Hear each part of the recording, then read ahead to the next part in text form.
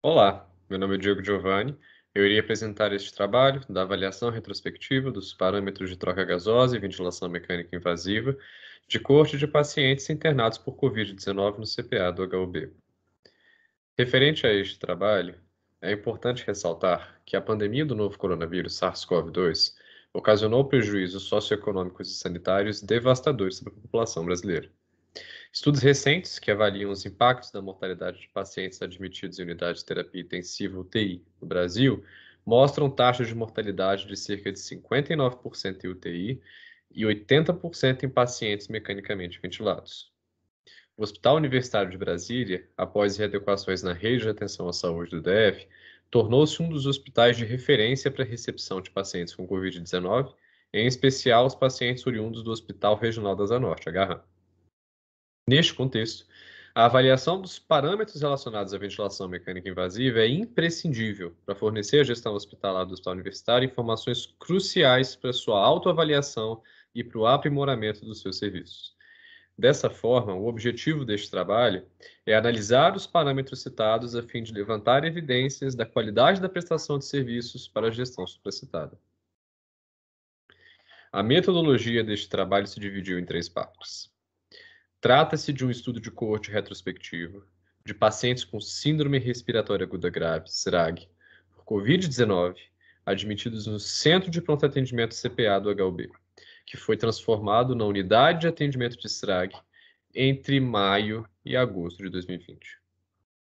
Foram registrados os dados admissionais de gasometrias arteriais e parâmetros de ventilação mecânica na plataforma Research Electronic Data Capture, REDCap a partir de prontuários do AGHU, que é o aplicativo de gestão para hospitais universitários, e de fichas de avaliação de ventilação mecânica.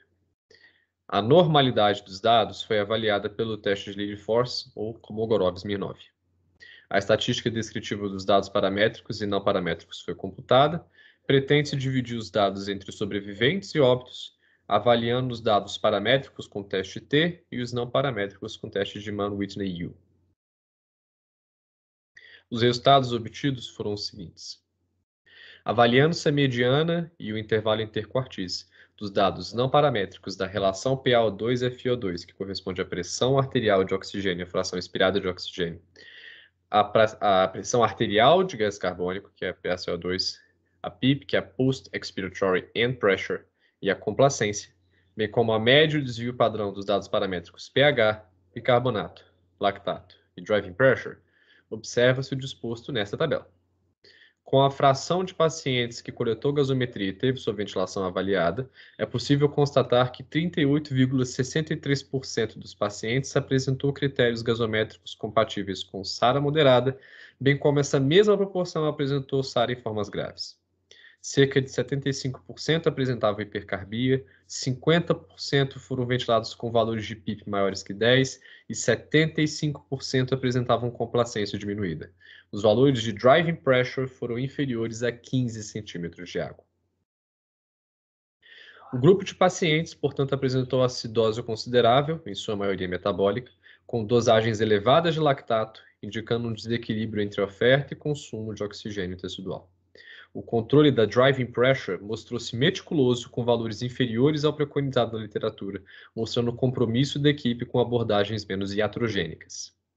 Em virtude do atraso na obtenção de assinatura do termo de consentimento livre esclarecido TCLE por familiares dos pacientes ou pelos próprios pacientes que evoluíram para alta, não foi possível realizar análise comparativa entre sobreviventes e óbitos até a presente data. Houve também fragilidades com a coleta dos dados, na medida em que nem todos os exames foram realizados nos pacientes e nem, toda, nem todo registro de informações referentes à metilação mecânica também foi registrado. Dessa forma, ressaltadas as fragilidades, espera-se que o grupo consiga terminar em tempo hábil as avaliações. Muito obrigado, este é meu e-mail e essas são as minhas referências.